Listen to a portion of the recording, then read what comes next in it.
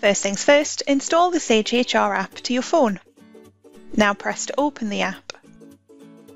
Enter your domain. That's the company name you gave when you created your login.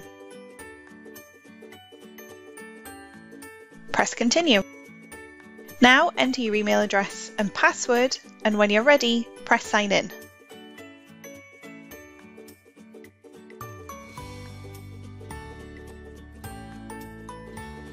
This is your mobile dashboard view. As you scroll down, you can see information like your own time off requests and balances. From the top left, the menu lists all the great things that you can do in the app, such as view the calendar,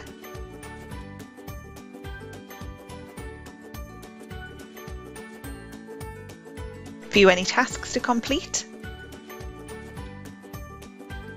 view the directories and see employees, and then from settings I can sign out. Let's now move back to the website and explore the dashboard a little more there.